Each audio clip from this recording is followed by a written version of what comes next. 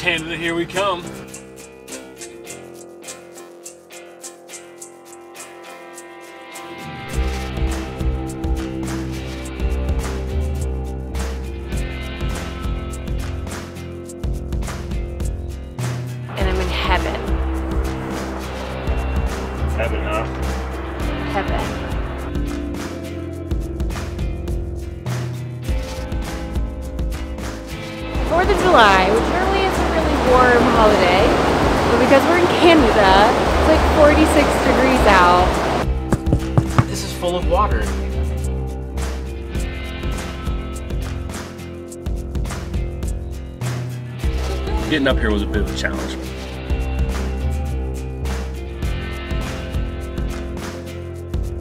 Amazing, amazing.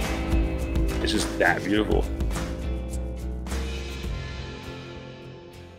Today is a nerve wracking day and exciting day because we are crossing the border into Canada. We've done this once before and we are looking forward to going back into the beautiful country of Canada. But we are a little more prepared this time for what to expect. Um, the crossing into Canada is actually really rather easy. It's coming back into the United States that can sometimes be a little nerve wracking. They're a lot more strict than coming into the United States. But we have our passports and we have our kitty papers that show they're up to date on all of their information so that if they have any problems with the pets, we're good to go. And we're ready for Canada and Banff and Jasper and Vancouver and all of the beautiful Alberta and British Columbia.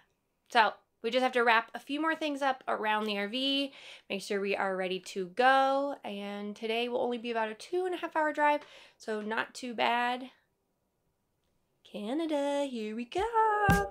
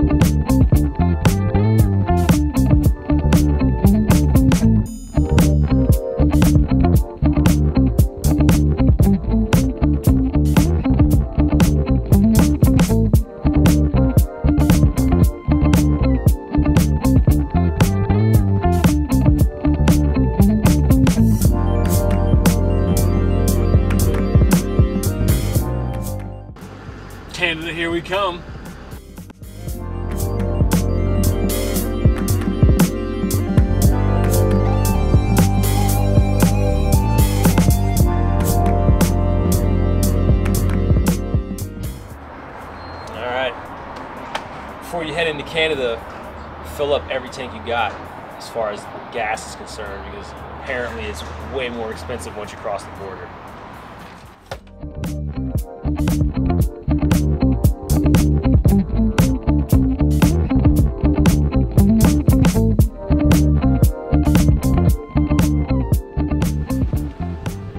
All right. So we're in Canada and uh, to be honest, it's always the easiest thing in the world getting into Canada. Of course, they're gonna ask you some questions, make sure you're not bringing any guns in here or anything like that.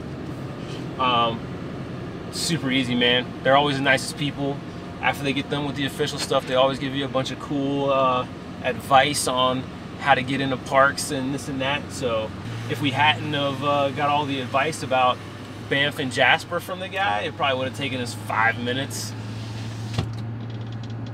Know? Super easy. Super easy.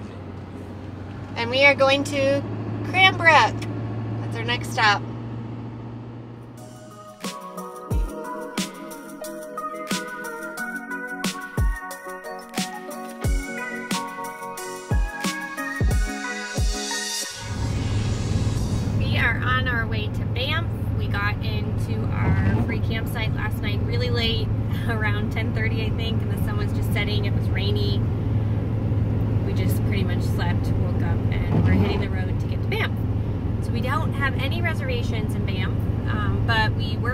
secure spot for tonight. There were some cancellations and we got an electrical site, which is awesome because now we can charge our batteries and um, kind of like reset because it's been so rainy and overcast. We really haven't been getting much charge with our um, solar for our batteries.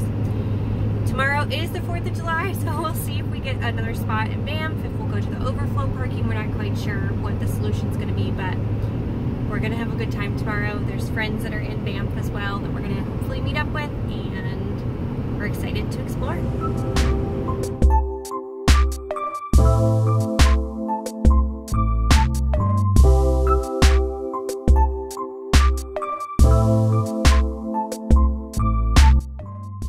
So we just made it to Banff. That was a beautiful drive-in.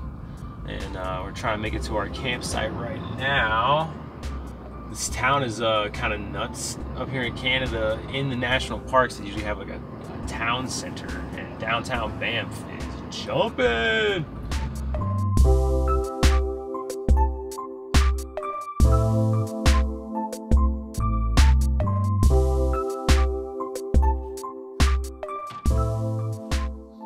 Hey Liz, what's going on? So we just pulled up to Banff and we went online earlier today and just frantically kind of found one opening and reserved a spot. We weren't sure if we were going to get another spot because supposedly this is like the craziest time and it is 4th of July week and a lot of Americans come here. But we pulled up, no reservations, and we got a spot until Friday. So we get three nights here. We do have to move one site tomorrow morning, but then we get to stay at that site for two days. So we're pretty much going to get two really full days of exploring Banff, and it's supposed to be sunny, and it's the 4th of July, and I'm just so excited. we woke up really early this morning so that we could get to Moraine Lake. So they want us out of this spot by 11 a.m. We were really hoping we would wake up early and the person that is in our new spot would be gone, but they're there. We are going to go to Johnston Canyon instead, which will still be awesome and beautiful and really fun. It's the 4th of July. We have a spot. We're in Banff. And it'll be a wonderful day.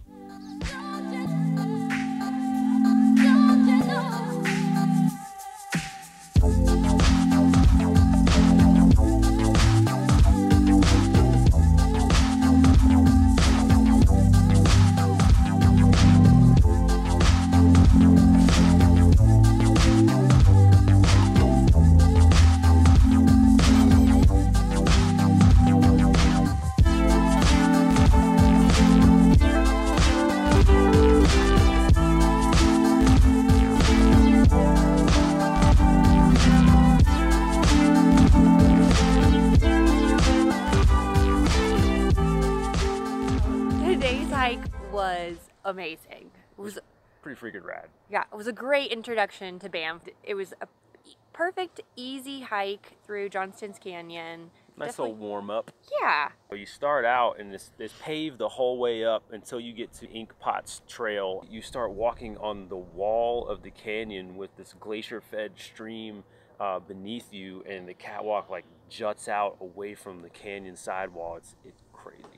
Yeah, it was such a unique hike. And there were seven waterfalls, so you technically are walking to an upper fall and a lower fall there. Those are like the big highlights or attractions. There was Mhm. plenty to see the whole time. It was really beautiful. The upper falls was rad because the catwalk actually again went out in the middle of the river and then you're just staring up at the upper falls. It was freaking wild. And we were told by someone walking along the path that there is like a secret, quote unquote secret, yet there was like 20 people down there. There's a spot that you can kind of jet off to, and you actually get to go down into the river bed, and you can pretty much walk up to a waterfall and actually like touch the glacier waterfall. Stand behind the thing if you want to. It was wild. It was really beautiful. So Yeah. uh, we're not going to put the exact spot because you're supposed Yeah. to stay on the trails. You can find it if you really want to. And we do have pictures below in our blog as well. Definitely go to Johnston's Canyon if you're going to Banff. Really worth Yeah. it. Quick hike. It only took about three hours round trip, although we did not do the ink pots. But that was with us taking our time, taking Oh yeah, taking a bunch of pictures. If you show up after eight, you're not gonna get a parking spot anywhere. There was two lots for this one uh, trailhead, and they were both full by the time we got done with our hike. yeah, we arrived around 8 8.15 and the parking lot was about half full by the time we arrived. And it wasn't too crowded on the trail which was nice because you're on a boardwalk. So if there's a lot of people it's really hard to get around and not as yeah. fun. So early is better. So we're going to our friend's campsite tonight to celebrate the 4th of July. Even though we're in Canada they're American we're American we want to celebrate but with sparklers because we are in a national park we don't want to burn it down or get a ticket or arrested, you know. So we're being as compliant as possible, even though I'm pretty sure this is probably still a no-no. And we're gonna grill out and have a good old 4th of July.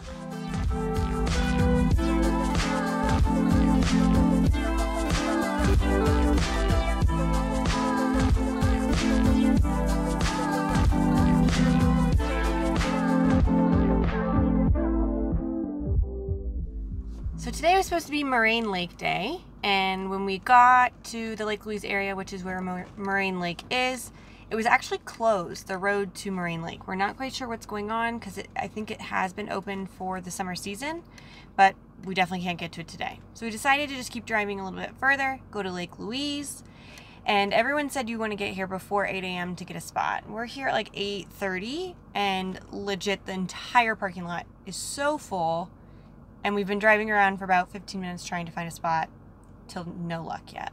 So if you're coming to Lake Louise, get here well before 8 a.m. to hopefully get a spot a little bit easier than we are. And we'll do a, a lovely hike today once we find a parking spot.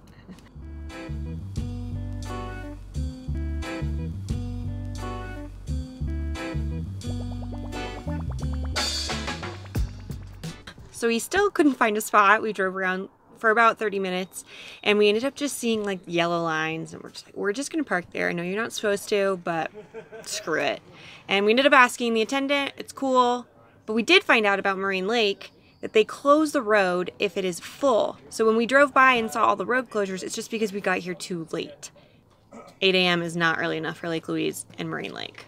No, if you are going to Moraine, I'd recommend getting there before 7 if you want to drive up, yeah. The overflow is the best way to do Moraine right now. Yeah. Yeah. You, you got to head back down towards the village, turn okay. right on the Trans Canadian Highway, and then take your first exit called Overflow. It's like a massive car park on your right. Yeah. And when did they open the road yesterday? 7.30 uh, at night, you said? No. Yeah, but there was a 100 car lineup waiting to get in. We had to sit there for about 15 minutes just to get out. At 7.30 p.m. Oh my god. Yeah, it was okay. insanely busy. Okay. Summertime. Hmm. Um, yeah, so I'd recommend shuttle for Moraine today, honestly. Okay. Yeah, man. Unfortunately, the national parks in Canada don't do a great job of informing you about like activities and hikes. We even, um, when we asked for a trail, lots. yeah, parking lots, really just anything that's going on within the park. I think they're much more targeted for like having tourist activities since they're cities within the actual national parks. They're a lot more developed than like United States national parks where you're kind of in the middle of nowhere, there's no connection. America's national parks, they like give you activities to do, suggested hikes. If you have a day here, this is what you should do. There's none of that help or support here. To figure out what happened with Moraine Lake and the road being closed, I had to go to a personal blog where they gave me that information the national parks website didn't even speak to it. So unfortunately, you're on your own for figuring out what to do when you come here and they really promote you like buying a map if you want to figure out what trails to go to. So do your research beforehand. Uh, blogs are really helpful for coming here, but it's just it's just different than the United States, and we weren't really prepared for that. So figure out as we go.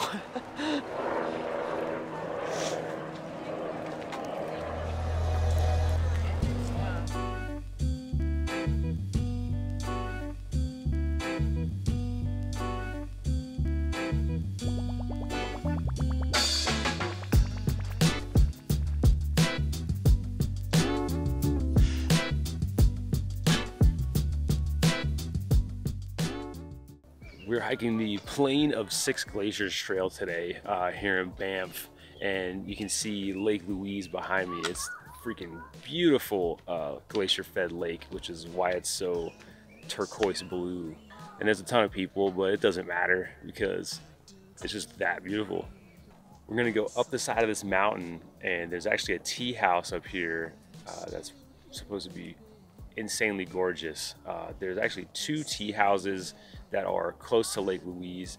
Lake Agnes has another tea house. That one's a little more popular. It's right off of the big Beehive Trail. This trail is crowded, so I don't even want to know what the other trail is like.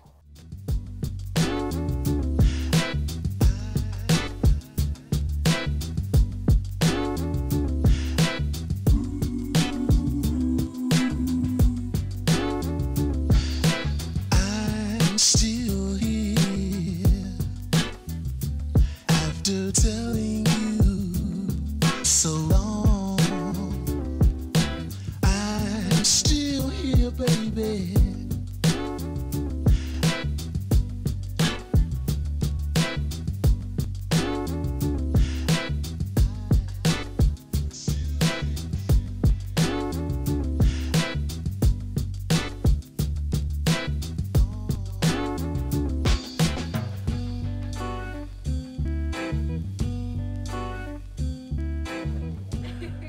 made it to the Plain of Six Glaciers tea house, but it's pretty rad.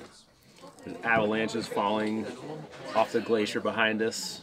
They live up here five days a week and hike in and out once just to come work here to feed us. That's pretty amazing. And uh, lo and behold, they had veggie chili on the menu. Dude, Liz, are you in love? Wow. There's not too many days that you can say you've taken a hike and that you've walked through six different glaciers as you were hiking. It's stunning here. I mean, there's nothing like this in the lower 48 states, 100%. And it is just incredible to be here next to these incredible glaciers. They're having avalanches, there's a tea house, and waterfalls, and wildflowers, and I'm in heaven. Heaven, huh? Heaven. Look at the glacial lake. Look at the glacial lake. I mean, it doesn't get literally any better than this. This is pretty phenomenal. It's been a long day. And we got a decent hike out of here. At least it's downhill, so it'll be easier, but we're gonna head back to the trailer. Possibly take a shower, maybe pop a brew, but it's time to relax.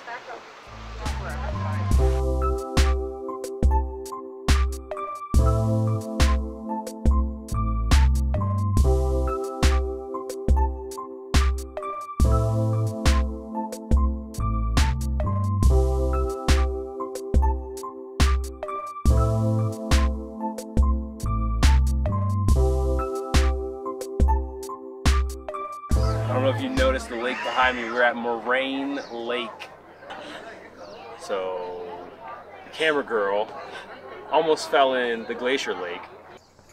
Oh yeah. Soaked her foot. And now we're about to do an eight mile hike.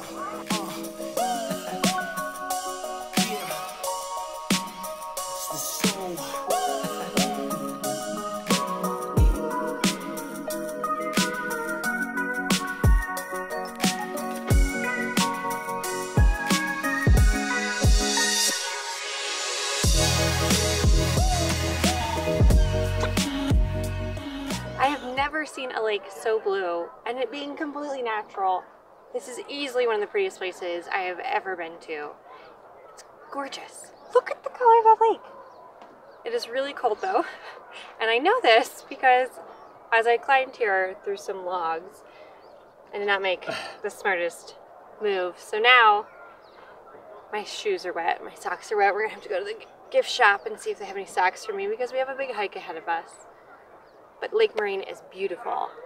And even though the parking lot was closed down, we thought about taking our motorcycle and they let us in because we were on a smaller motorcycle versus a car, even though it's still shut down to all cars. So we didn't have to take the shuttle and we got here in the middle of the day rather than having to wake up really, really, really early like we have for all the other places. And overall, it's a lot less crowded than Lake Louise. For example, I think because the parking lot just shuts down pretty much for the whole day, you don't get nearly as much crowds. There's still people here. Still people here. But it's not overwhelming. Gift shop to the rescue. I officially have socks again and can put my shoes back on, which is very nice. And they're cute. They have bears. See? Uh, what's that thing in the plastic wrap right there? Oh, in a Namino bar. Nanam- na- Nanaimo. Nanaimo. Thank you. Nanaimo bar. We're on the Larch Valley Trail, which is super cool, but you gotta go up like, I don't know, kilometer or so of switchbacks. I think it's a 15, uh, 100 feet, or is it more than that, elevation gain. Oh, this is tough today. Yeah. Yeah, it's tough. Yesterday was, I thought, steep. We didn't take any breaks, and this is like our second or third break. Oh, I don't know. This is the first break. Well, we were filming the other breaks, oh, but I was breaking. But look, a huge glacier and Lake Marine. Huge glacier, Lake Marine. Awesome. Okay. The mosquitoes will eat you alive if you stop for a second. So we gotta keep going.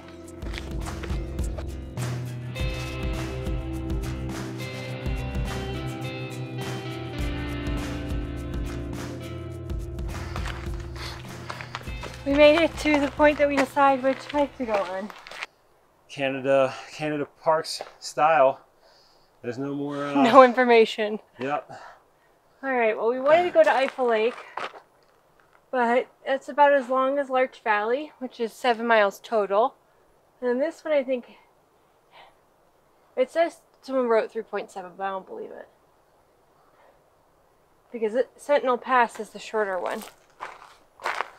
So, one side of this is heads, one side of this is tails. One side we go that way, the other side we go that way. Sentinel Pass, Eiffel Lake. Line is Okay. Eiffel Lake. Okay. Eiffel Lake, Sentinel Pass. Okay. Ready? Eiffel Lake. Eiffel Lake. Uh, sorry, we don't have any footage of the Eiffel Lake gym at the end of the trail. It got really freaking windy and started to rain, so we packed up all the electronics and threw ponchos on and just booked it back down the trail to get down the mountain because we didn't know if it was going to turn into like a serious thunderstorm or what. Anyway, uh, today is moving day out of Banff, and uh, we're packing up, and we found something we want to show you. Liz decided to look underneath the trailer for some strange reason, and uh, she goes, "I think we got a leak." And I'm like, "What do you mean we got a leak? Like you're you're you're crazy. We just drove through a bunch of rain. It's probably just the tires slinging water up underneath the underbelly of the trailer." So we moved from there, drove into Tunnel Mountain in Banff, and it's dry here, no more rain. And lo and behold, the entire underbelly is sagging. You can totally notice it. Whenever you slap it, it sounds like it's a waterbed, you know, half full. And uh, Liz actually noticed there was a piece of the underbelly peeling down from. Dun, dun, dun. You don't know about this yet, but we've actually repaired one leak on the trailer already uh, back when we were in Idaho Falls. So we're assuming that this is the same leak or something caused by, you know, the repair that was done. Uh, whenever we had the first repair done, they split the underbelly into three different sections when from the factory it came in one whole section. Well, the weight from the water is actually pulling those sections apart and is basically going to allow more moisture and yuck to get into our underbelly. But it doesn't really matter because it's wet inside already. Yeah, no fun. So there's that. Mm-hmm. Pretty disappointing that we have potentially another leak or a reoccurring problem. Either way, we're probably going to have to go back to Idaho Falls.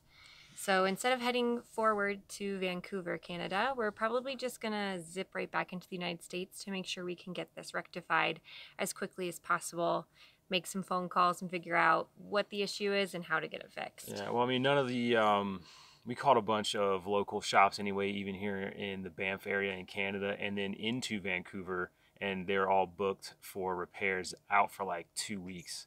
So I don't know. I'm pretty confident that it's not a another water leak, but we'll see. Either way, our experience at Banff was still absolutely incredible. It's such a spectacular place. There's so much to do, and it's just breathtakingly beautiful. Yeah, man. If you want to make some like lasting adventure memories with your family, you have to get to Banff. It's freaking awesome. This was easily in our top five places we visited so far. I can't wait to come back. It'd be so cool to see it in wintertime too. So, if any of you have done that, we would love to hear what your experience was like coming to Banff in, in winter with all that snow. I can't even imagine. That sounds cold, man. I don't know about that. It sounds beautiful. It does sound cold though. if you liked this video, please make sure to give it a thumbs up. And if you haven't subscribed, click the subscribe button and then ring the bell right next to it so you know every time we put out a new video. So that's all we have for you this week from Banff. We're actually going to be cruising into uh, the Glacier National up here in Canada, and then we're going to head into Washington. Mm-hmm. So hopefully uh, we can get this leak situation or potential leak situation rectified between now and then. Uh, but that's the direction, and we'll see you next week. Ready? So heads, Eiffel Lake. Eiffel Lake, Sentinel Pass. Here we go. I don't remember which one it is. Get out of here. All right, seriously now.